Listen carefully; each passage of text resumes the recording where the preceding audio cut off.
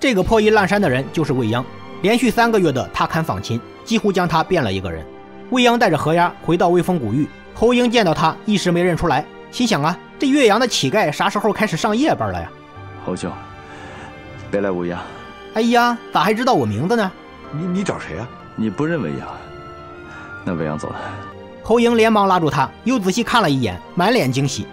哎呀，哈，兄弟是你呀！这这，快，肥羊炖。大桶的热水，快！说罢就拉着未央进门，谁知未央却把河鸭留下，又匆忙离开了。早在之前，下线的世子们就已经都回来了，都在各自准备策论，唯独未央一人杳无音信，而且到处都在传他已经逃回了魏国。最近一段时间，景监每天晚上就两件事：喝闷酒骂未央，你个臭不要脸的，忘了大明湖畔的夏雨荷了吗？哎呀，好像串戏了啊，这个不重要，反正啊，吓得小令狐天天守在门外悄悄流泪。听着景监在屋里摔东西，也不敢阻止。猛然间听到有敲门声，谁呀？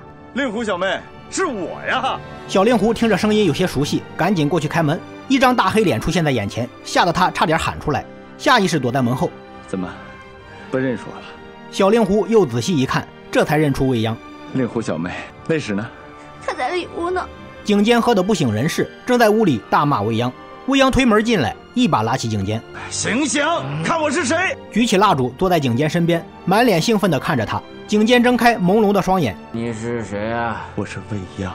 你不是未央，你干瘦又黑，不是，不是。”未央一阵大笑，高声说道：“跋涉三个月，走遍整个秦国，不黑不瘦才怪。”景监眼神逐渐变得清晰，擦了擦双眼，目光炯炯地盯着未央。未央。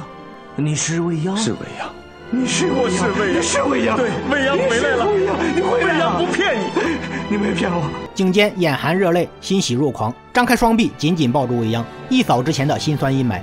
令狐，拿酒，还喝酒？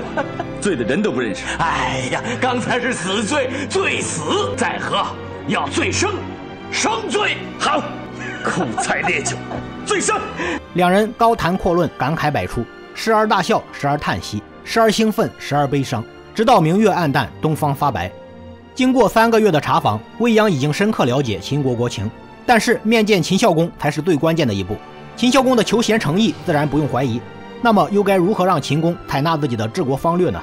未央决定三探秦孝公。欢迎关注、评论、转发，我是逐梦，我们下期再说。